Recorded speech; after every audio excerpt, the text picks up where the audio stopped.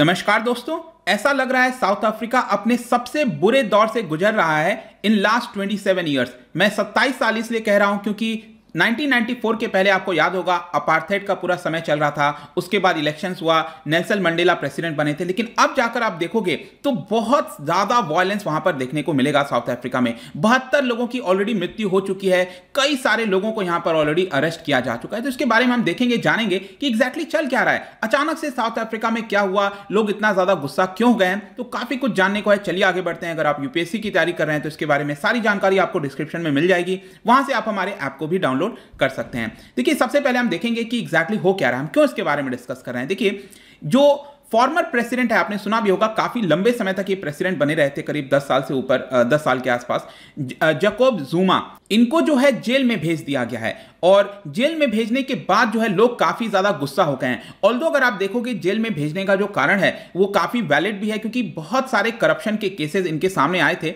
लेकिन यहाँ पर जो लोग हैं, वो काफ़ी ज़्यादा गुस्सा हो गए हैं और वॉयलेंस क्रिएट कर रहे हैं। आगजनी हो रही है और करीब बहत्तर लोगों की ऑलरेडी जाने जा चुके हैं। जो पुलिस है मिलिट्री है, वो फायरिंग स्टन ग्रेनेड्स का इस्तेमाल कर रही है रबर बुलेट्स हो गए, उसका इस्तेमाल किया जा रहा है। और इनको जो जुमा की मैंने आपको बात किया, ये पंद्रह साल का पूरा इनका जेल का कार्यकाल है, ऐसा बताया जा रहा है कि वो पंद्रह सॉरी साल नहीं, पंद्रह महीने के आसपास वो जेल में रहेंगे। और स्पेशली उनका जो होम प्रोविंस है साउथ अफ्रीका में क्वाजुलू नताल ये मैं आपको दिखा भी देता हूँ मैप में आप ध्यान से देखिएगा। ये अफ्रीका का मैप आप देख पा रहे होगे और साउथ अफ्रीका आपको पता है, एकदम सदर्न साइड में आपको देखने को मिलेगा। और राइट साइड में आप जैसा कि देख सकते हो साउथ अफ्रीका की जो बाउंड्रीज हैं अलग अलग देशों के साथ, काफ़ी सारे देश मिलेंगे। एक तो नदन साइड में पूरा आप देख पाओगे नमीबिया हो गया बोत्सवाना हो गया, इसके अलावा जिम्बाब्वे भी ध्यान रखिएगा है। मोजाम्बिक भी है और स्वाजीलैंड भी है, ध्यान रखना। इसके साथ साथ एक बहुत इंपॉर्टेंट देश है छोटा सा कंट्री है लिसोथो ये पूरा साउथ अफ्रीका के अंदर ही आता है। मतलब कि इनको अगर क्रॉस करना है तो साउथ अफ्रीका जाकर ही ये क्रॉस कर सकते हैं दूसरे देश में। और साउथ अफ्रीका की अगर हम बात करें, इसकी कैपिटल जो है, ये भी आपको ध्यान रखना है, तीन मेन कैपिटल कहते हैं। जैसे हमारे यहाँ पर जो तीन ब्रांचेस हैं एग्जीक्यूटिव लेजिस्लेचर और जुडिशरी तो इसका प्रिटोरिया जो है, यहाँ पर आप देख पाओगे, ये प्रिटोरिया जो है, ये एक प्रकार से आप कह सकते हो एग्जीक्यूटिव ब्रांच है, जो गवर्नमेंट काम करती है जहाँ पर। फिर इसके अलावा यहाँ पर ब्लॉम फॉन्टेन जो है, ये आपका जुडिशियल ब्रांच है जुडिशियल कैपिटल कहा जाता है, जो सुप्रीम कोर्ट हो गया, वो बैठती है। और यहाँ पर केप टाउन हो गया, आप देन सदर्न साइड में आप देखेंगे केप टाउन जो है, ये आपका लेजिस्लेटिव ब्रांच है। मतलब कि लेजिस्लेचर जो है, वहाँ पर वर्क करता है, कानून वगैरह पास किए जाते हैं, वो कैपिटल है। तीन मेन कैपिटल है। इसके अलावा जॉनसबर्ग को कहा जाता है फाइनेंशियल कैपिटल लेकिन वो एक अलग मामला है पूरा। लेकिन तीन मेन कैपिटल आपको ध्यान रखना है। तो यहाँ पर हम बात कर रहे हैं जो जैकॉब जूमा का प्रोविंस है क्वाजुलू नटाल तो यहाँ पर अलग अलग प्रोविंस टोटल नाइन प्रोविंस है वहाँ पर। और ये क्वाजुलू नटाल ये आप देख पा रहे होगे यहाँ पर यहाँ पर काफ़ी ज़्यादा हिंसा हो गई है। और इसके बाद से जो आसपास के भी जो प्रोविंसेस हैं यहाँ पर, ये पूरा वायलेंस वहाँ पर फैल गया, ऐसा बताया जा रहा है। जो वेयर हाउसेज हैं स्टोर्स हैं, वहाँ पर उसको आग से जला दिया गया है। और स्पेशली जॉनसबर्ग और डरबन जो काफ़ी इंपॉर्टेंट शहर है, आप यहाँ पर देख पाओगे, ये डरबन आपका इसी पर्टिकुलर प्रोविंस में आता है क्वाजुलू नटाल में। और बहुत ही इंपॉर्टेंट पोर्ट वगैरह है डरबन तो वहाँ पर काफ़ी सारी चीज़ों को क्लोज करना पड़ गया है। और इसकी वजह से अब क्या हुआ है कि कोविड नाइन्टीन का जो वैक्सीनेशन प्रोग्राम चल रहा था, उनकी जो सेंटर्स हैं, उसको भी क्लोज कर दिया गया है। ऑल आप देखोगे साउथ अफ्रीका में ऑलरेडी थर्ड वेव आ चुका है, काफ़ी ज़्यादा लोग यहाँ पर कोविड नाइन्टीन से इन्फेक्ट हो चुके हैं। लेकिन क्वेश्चन ये आता है कि ये ट्रिगर कैसे हुआ? तो यहाँ पर जैसा मैं आपको बता रहा था कि जो जकॉब जुमा है, उनको रिलीज़ करने की मांग कही जा रही है। जो पंद्रह महीने के लिए जेल में भेजा गया है, वो करीब 2009 से 18 तक यहाँ पर प्रेसिडेंट बने हुए थे। तो उनके ऊपर करप्शन का चार्ज लगाया गया। करप्शन का चार्ज अगर मैं आपको बताऊँ तो उनके जो खुद के फॉर्मर कैबिनेट मिनिस्टर्स हैं, जो गवर्नमेंट के ऑफिशियल्स हैं, सभी लोगों ने यहाँ पर गवाही दी और कहा है कि वो वो काफ़ी ज़्यादा करप्शन करते थे।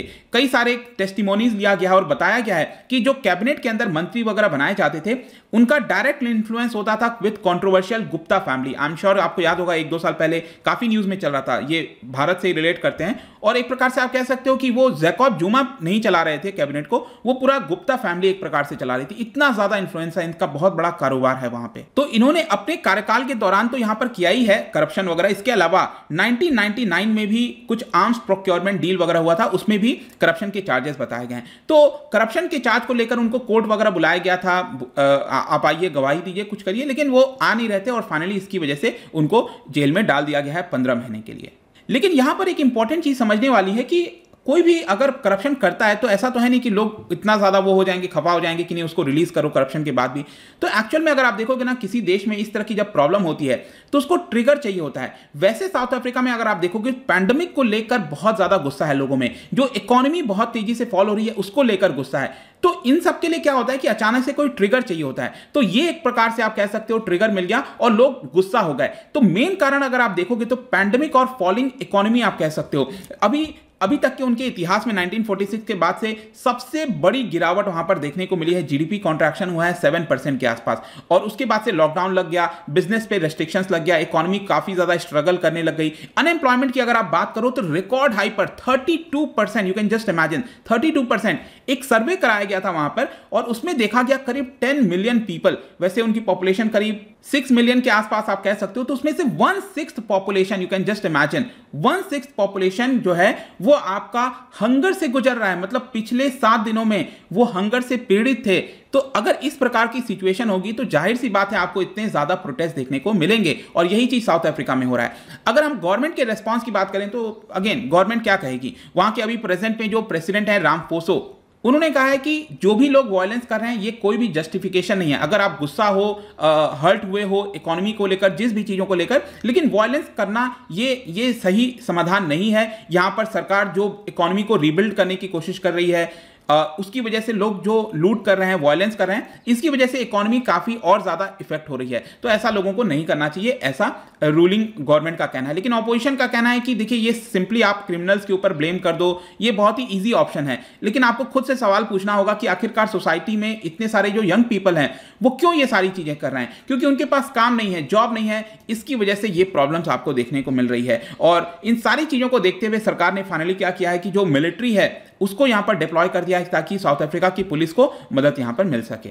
अगर इसकी वजह से हम प्रॉब्लम्स की बात करें तो ऑब्वियसली बात है, वहाँ पर एक तो मैंने आपको बताया, जो जान है, वो काफ़ी ज़्यादा गई है। बहत्तर लोगों से ज़्यादा जाने ऑलरेडी जा चुकी हैं। अभी कितनी और होंगी, कितने नहीं होंगे, वो एक पूरा अलग मुद्दा है। और इसकी वजह से यहाँ पर बिलियंस ऑफ़ जो रैंड्स हैं रैंड्स वहाँ की जो करेंसी है वो नुकसान हुआ है। ऑल दो इकोनॉमिस्ट का कहना है कि ये तो काफ़ी कम दिखाया जा रहा है क्योंकि बिज़नेस क्लोज हो गए हैं काफ़ी सारी चीज़ें होंगी तो और ज़्यादा यहाँ पर नुकसान हुआ होगा। वहाँ की जो डरबन मैंने अभी आपको सिटी दिखाया वहाँ की कंट्री की लार्जेस्ट रिफाइनरी उसको शट डाउन करना पड़, पड़ गया है। यूनाइटेड नेशन ने कहा है कि अगर इसी प्रकार से डिस्टर्बेंस बढ़ता रहा तो ये प्रॉब्लम को और ज़्यादा बढ़ाता जाएगा इसे हमें रोकने की आवश्यकता है। और इन सारी चीज़ों को देखते हुए करीब 1200 1500 लोगों को ऑलरेडी अरेस्ट किया जा चुका है जिसमें बच्चे हैं महिलाएँ हैं ओल्डर पीपल भी शामिल हैं। अब भारत की तरफ़ से अगर हम बात करें तो हमारे जो एक्सटर्नल अफेयर मिनिस्टर हैं एस जयशंकर साहब उन्होंने बातचीत की है वहाँ के फॉरेन मिनिस्टर से, और उनके फॉरेन मिनिस्टर ने यहाँ पर बोला है कि लॉ एंड ऑर्डर को हम कंट्रोल करने की कोशिश कर रहे हैं। तो ये अभी भारत और साउथ अफ्रीका में बात हो चुकी है। तो आई होप कि इस वीडियो के माध्यम से आपको अभी समझ में आ गया होगा कि एग्जैक्टली exactly चल क्या रहा है साउथ अफ्रीका में, क्यों इतना ज़्यादा वायलेंस देखने को मिल रहा है। जाने से पहले एक इंटरेस्टिंग क्वेश्चन आपके लिए। आपको बताना है कि अफ्रीका के अंदर, जो पूरा कॉन्टिनेंट है अफ्रीका में, अगर आपने मैप ध्यान से देखा होगा तो क्या बता सकते हो कि कौन सा लैंड लॉक कंट्री नहीं है? लैंड कंट्री नहीं है, यह बताना है। और इसका जो राइट आंसर है, आपको पता ही है, मेरे इंस्टाग्राम पर तो मिलेगा ही। वहाँ पर अगर आप नहीं हो, कोई बात नहीं टेलीग्राम से भी ले सकते हैं इसका सही उत्तर। मैं कई सारे एमसीक्यूज यहाँ पर डालता रहता हूँ स्टोरीज के फॉर्म में आप जाकर प्ले कर सकते हो। बाकी अगर आपको इसका पीडीएफ चाहिए अलग अलग सोशल मीडिया पर जुड़ना चाहते हैं तो आ सकते हैं। और अगर आप यूपीएससी की तैयारी कर रहे हैं, किसी भी एग्ज़ाम की प्रिपरेशन कर रहे हैं डेफिनेटली आप हमारे ऐप को डाउनलोड करिए। स्टडी पर जाइए, काफ़ी अफोर्डेबल रेट्स पे सारे कोर्सेज आपको अवेलेबल हो जाएँगे। और आई होप की वीडियो आपको पसंद आएगा मिलता है आपसे next time till then thank you very much see you soon